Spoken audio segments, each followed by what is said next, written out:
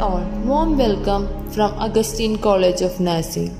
Our is established in the year 2019 by the Augustinian Sisters under a registered society in Sendhwa, Madhya Pradesh, named as St. Augustine Social Service Society and offers the degree program called Bachelor of Science in Nursing. The religious order of the Augustinian Sisters has the foundation in Germany when four dedicated sisters rendered their service to the sick and dying in the year 1838.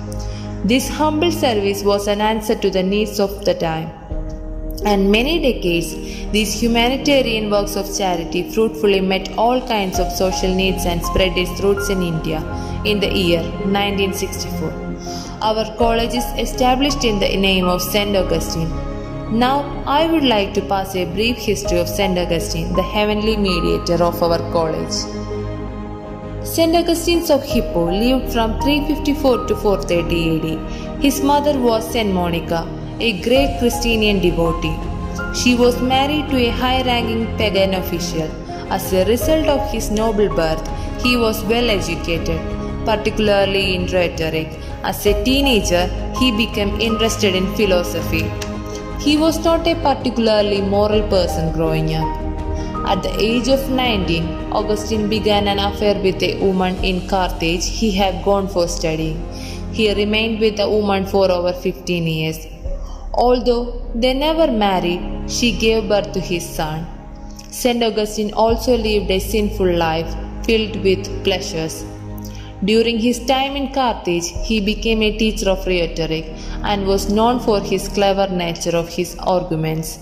He became so good at his works, he was invited to Milan to become a professor. During his travel, he encountered many different religious ideas. He began to consider what religion to follow. St. Augustine strongly considered committing his life to God, but it was not possible that no man could live up to the Christian ideal. Therefore, he spent his life seeking pleasure.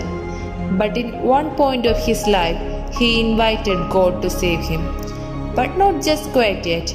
Despite his sinful ways, St. Augustine corresponded regularly with his mother and Bishop Faustus of Milan, another great thinker who became a saint. These righteous influences considered him to Christianity. Eventually, Augustine saw the signs that pointed him to Christ. He began to reform his life and he accepted life as a Christian. He then started writing from rhetoric thoughts and writing to Christian thoughts and writing. St. Augustine is regarded as the bright Christian writer of all time. He wrote about philosophy. He showed great love to the poor he encountered. His prayer life was extraordinary. St. Augustine died in August 28, 430 AD. He is the patron of brewers and one of the greatest saints that ever lived.